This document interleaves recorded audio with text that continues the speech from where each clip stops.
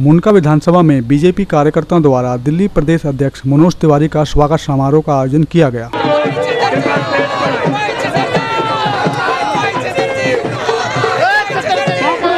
इस अवसर पर सभी बीजेपी कार्यकर्ताओं ने कार्यक्रम में शिरकत की और मोदी सरकार द्वारा किए गए कार्यों की रूपरेखा मीडिया के सामने रखी। तो हमारे अध्यक्ष बने हैं मनोज तिवारी जी।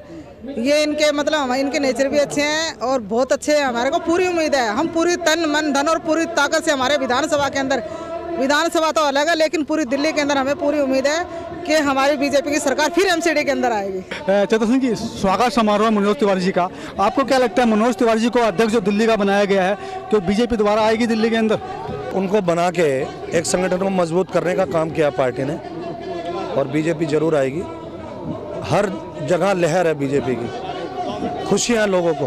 मनोज तिवारी जी को विश्वास दिखाया है और यहाँ पर विनय रावत जी को ज़िले का अध्यक्ष दोबारा से बनाया है। तो दोनों सही स्टेप हैं। विनय रावत जी को भी जो अध्यक्ष बनाया है, ये पार्टी ने बहुत ही विचार विमर्श करके राजस्थान और हरियाणा को जोड़ने का काम किया है, बहुत अच्छा काम किया है।